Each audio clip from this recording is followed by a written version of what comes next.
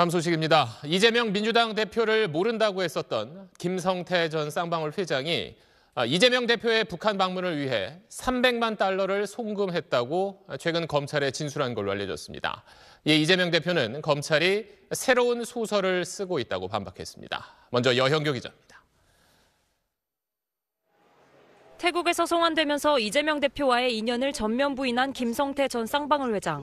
이재명 씨는 전화나 뭐 이거 한적 없는데 전화보다 말보다 못하고 아무튼 제가 많이 뭐 부족한 사람이라 최근 검찰 조사에서 몇몇 새로운 진술이 나온 걸로 전해졌습니다. 통화 여부부터 말이 달라졌습니다. 지난 2019년 김 전 회장은 이화영 당시 경기 평화부지사 등과 함께 북한 광물 사업권과 관련해 중국에서 북한 측 인사를 만나는 기업 간담회에 참석했습니다. 이 자리에서 이전 부지사가 전화를 걸어 이재명 대표를 바꿔줬고 이 대표로부터 고맙다라는 말을 들었다고 진술한 것으로 알려졌습니다.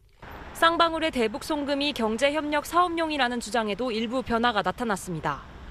김 전 회장은 지난 2019년 1월과 4월 두 차례에 걸쳐 경기도에 북한 스마트팜 조성을 목적으로 500만 달러를 송금했다고 했는데 그해 11월에 추가로 이재명 경기지사의 방북을 위해 300만 달러를 송금했다고 진술한 것으로 알려졌습니다. 이재명 대표는 검찰의 신작 소설이라고 일축했습니다.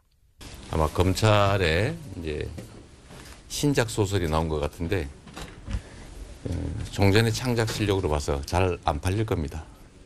이런 가운데 오늘 이화영 전 부지사 공판에선 2019년 김 전 회장의 모친상에 김 전 회장과 친분이 없던 경기지사 비서실장이 조문을 왔었다는 쌍방울그룹 전 비서실장의 진술이 나왔습니다.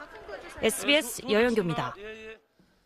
네, 안녕하십니까. 김현우입니다. 더 많은 뉴스와 라이브 이벤트를 보고 싶으시면 화면 오른쪽을 눌러서 구독해 보시길 바라겠습니다. 또 저희 SBS 앱을 다운로드 하시면 속보 알림도 받아보실 수 있습니다. 항상 저희 SBS 뉴스를 시청해 주셔서 대단히 고맙습니다.